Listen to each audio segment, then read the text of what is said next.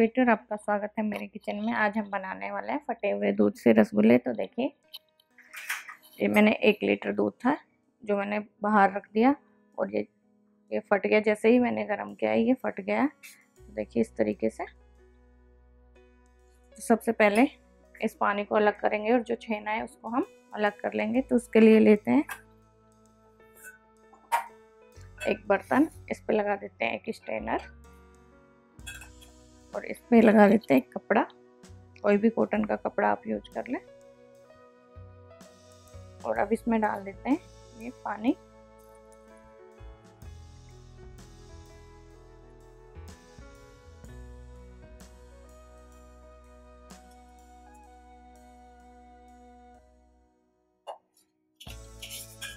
तो देखिए, छेना ऊपर आ गया, पानी इसमें से वो नीचे चला गया है।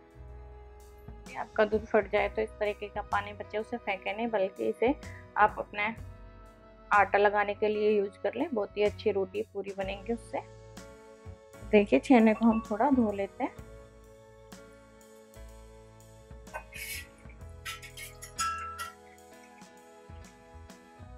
थोड़ा सा पानी और डाल के, क्योंकि हमने किसी चीज़ से इसे फाड़ा नहीं है, ना ही कोई नींबू का रस, ना कोई विनेगर यूज़ किया, ये अपने आप फटा हुआ दूध है।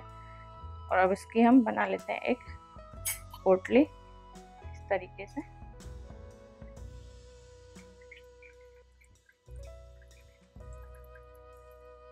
और इसे अब एक या तो नल के बाँध दें इस तरीके से पोटली बना के या फिर किसी भी भारी चीज़ से इसको दबा के रख दें। आधे से एक घंटे के लिए। तो इसको मैंने गांठ लगा के पोटली बना ली और इसको रख देती हूँ मैं किसी भारी चीज़ से दबा के। तो देखिए, एक प्लेट ले लिया, इसकी गांठ मैंने खोल दिया थोड़ा एक साइड से मैंने ऊँचा कर दिया और इस पर रख देती हूँ अब मैं चकला, ताकि ये अच्छे से प्रेस होके इसमें जो भी मॉइस्चर है वो पूरा निकल जाए। इस तरीके से आधे घंटे के लिए। देखिए, तीस मिनट हो चुके हैं या फिर आधा घंटा बोल सकते हैं। अब हमारे चकले को हटा लेते हैं। तो देखिए, इसमें जो पानी था, वो निकल गया है। अब इसमें से हम छेने को निकाल लेते हैं।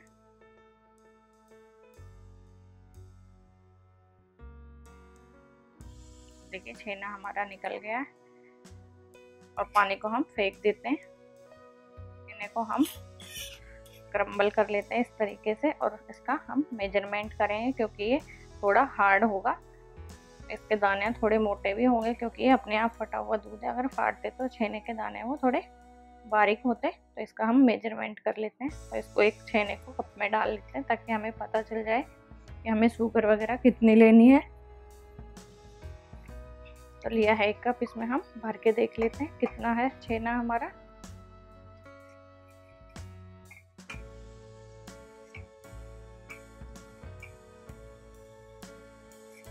देखिए, एक कप से थोड़ा बहुत ही कम है।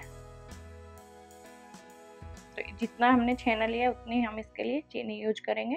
देखिए, छेने को बाइंडिंग करने के लिए या तो आप कॉर्नफ्लोर ले सकते हैं, या फिर आप मैदा ले सकते हैं, या फिर आप आरा रूट का यूज़ भी कर सकते हैं, ताकि अच्छे से बाइंड हो जाए। और इसे हम तो मैं इसमें डालने वाली हूँ एक चम्मच से थोड़ा सा कम, जितने हमारा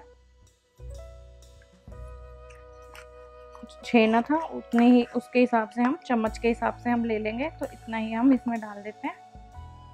कॉर्नफ्लोर तो हम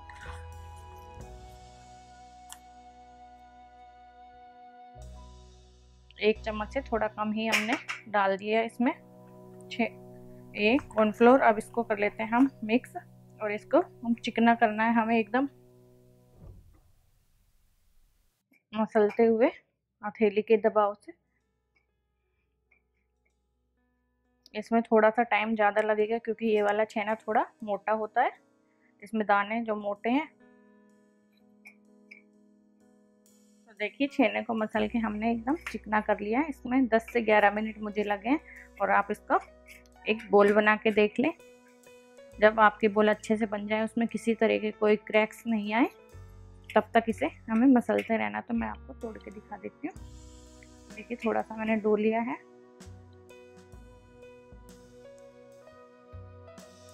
देखिए बोल एकदम परफेक्ट है, किसी तरीके का कोई क्रैक्स इस पर नहीं है। तो ऐसा ही हमें डो तैयार करना है। तो अब लेते हैं हम एक भगोना। इसमें डाल देते हैं जितने हमारा छेना था, उससे पाँच गुना हम पानी डालेंगे और उतनी ही हम चीनी डालेंगे। तो ये मैंने जितना हमारा छे छेना था, उसी मेज़रमेंट से ये चीनी ले लिए तो एक कप से थोड़ा कम था तो इतनी हमने चीनी लिए। अब इससे पाँच गुना हम पानी ले लेंगे। तो जब भी रसगुल्ले बनाएँ, उसके लिए बड़े बर्तन का आप यूज़ करें ताकि इनको फूलने में आसानी रहे और अच्छे से फूल सके। अब इसमें हम पाँच गुना पानी डाल देते हैं।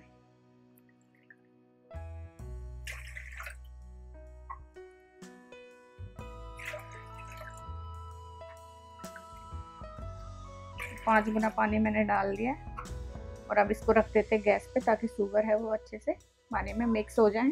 शुगर को मेल्ट होने के लिए मैंने रख दिया है गैस पे। तब तक हम हमारे बोल्स बना थोड़ा थोड़ा डो लेके हम इसके बोल्स बना लेंगे। ज़्यादा बड़ी भी नहीं बनाएँगे, ज़्यादा छोटी भी नहीं बनाएँगे। साइज़ आप पे डिपेंड करता है कि आप कितनी बड़ी या छोटी बनाना चाहते हैं थोड़ा सा और लेंगे हम।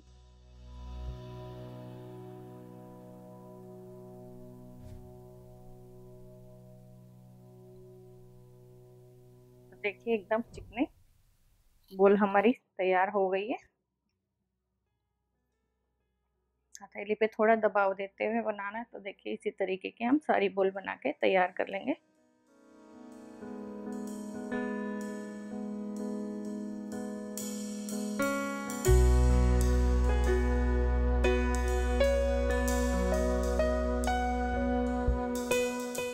तो देखिए, इतने मिक्सचर में हमारे 10 बोल्स बन के तैयार हुए हैं।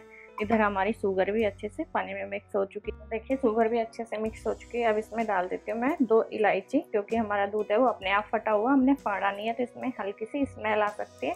अगर आप खुद दूध को फाड़ के बनाएँगे तो इसमें इलायची डालने की बिल्कुल भी आपको ज़रूरत नहीं है। तो देखिए, इसमें उबाल भी आना स्टार्ट हो चुका है नीचे से। तब इसमें हम एक एक करके हमारे रसगुल्ले वो डाल देंगे। थोड़ा थोड़ा गैप देते हुए। तो बस इतना ही हमें गैप देना है।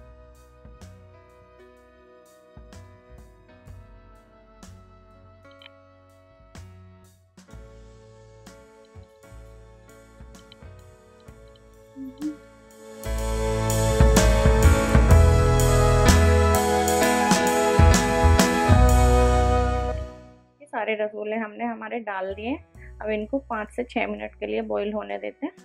तो देखिए, पाँच से छः मिनट हुए और हमारे बोल्स देखिए कितने बड़े हो गए जितना हमने पहले डाला था, उससे डबल साइज़ हो गया। देखिए एक एक बोल्स को।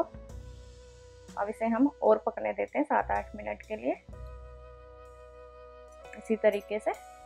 मैंने ओपन ही पकाया है, इसको बिल्कुल भी कवर नहीं किया है।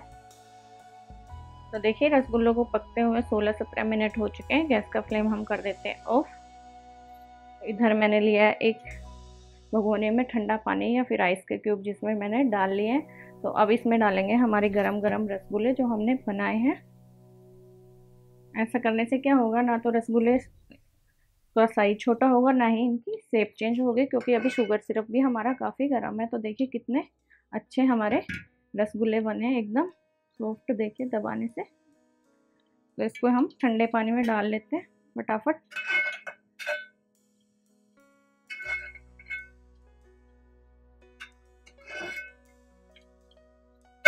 सारे रसगुल्लों को हम डाल लेंगे।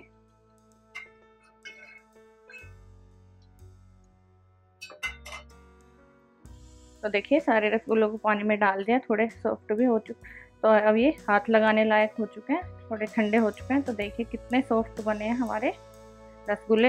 इनको जब तक हमारा शुगर सिरप भी एकदम रूम टेम्परेचर पे ना आए जब तक हम इसे ठंडा करेंगे। और अब इन रसगुल्लों को जब ये शुगर सिरप हमारा ठंडा हो जाएगा, उसके बाद वापस हम शुगर सिरप में डाल देंगे ताकि ये मीठे रहें। देखिए, जो रसगुल्ले थे वो अच्छे से ठंडे हो चुके थे और हमारा शुगर सिरप भी एकदम रूम टेम्परेचर पे आ चुका था तो इनको मैंने एक दूसरे बर्तन में निकाल लिया। तो देखिए, कितने अच्छे हमारे रसगुल्ले बन के तैयार हुए अगर आपको तो इस तरीके के रसगुल्ले बनाने हैं तो इसके लिए मेज़रमेंट एकदम सही करें। कॉर्नफ्लोर या मैदा जो भी यूज़ करें, वो एकदम सही डालें, नहीं तो ये हार्ड हो जाएँगे। और जब भी लगे आपको शुगर सिरप हमारा थिक हो रहा है तो उसमें थोड़ा सा गर्म पानी डाल लें। अगर इस तरीके से आप बनाएँगे तो आपके रसगुल्ले बहुत ही अच्छे बनेंगे। अगर आपको ये रसगुल्ले बनाने का तरीका अच्छा लगा तो चैनल को सब्सक्राइब कीजिए वीडियो को लाइक कीजिए और शेयर कीजिए वीडियो देखने के लिए। धन्यवाद।